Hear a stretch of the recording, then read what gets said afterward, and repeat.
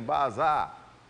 E com a volta às aulas nos colégios municipais e particulares aqui em Salvador, a Trans Salvador vem fazendo aí desde o início de fevereiro uma ação educativa na porta das escolas, orientando pais e condutores e transportadores escolares sobre os cuidados com as crianças durante embarque e desembarque. Bota no ar.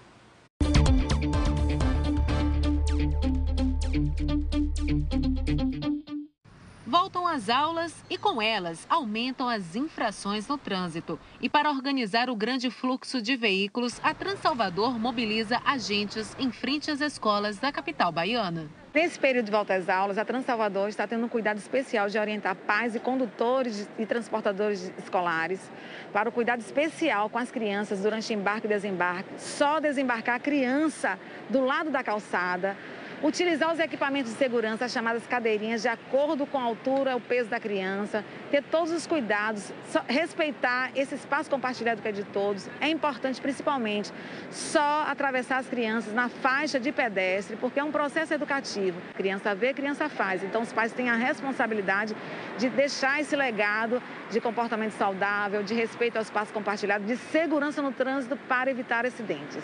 Na ação, não somente os adultos recebem orientações para o trânsito, as crianças também ganham papel importante. A Transalvador trouxe uma novidade, que é um material educativo lúdico-pedagógico, que é o talão de multinha, quando nós vamos orientar as crianças para ter essa posição, não de fiscalização, mas uma posição de, de aquisição de novos saberes, de, de processo educativo.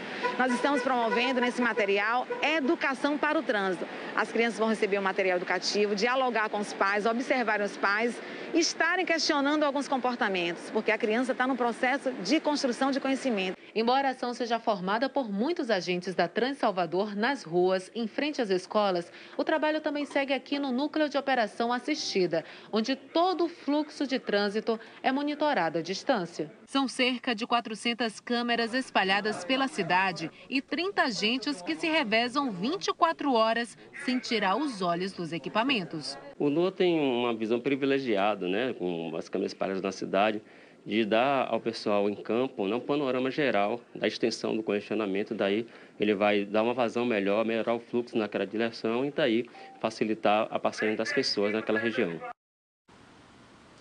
Olha, a Trans Salvador disponibiliza essa ação educativa a todas as redes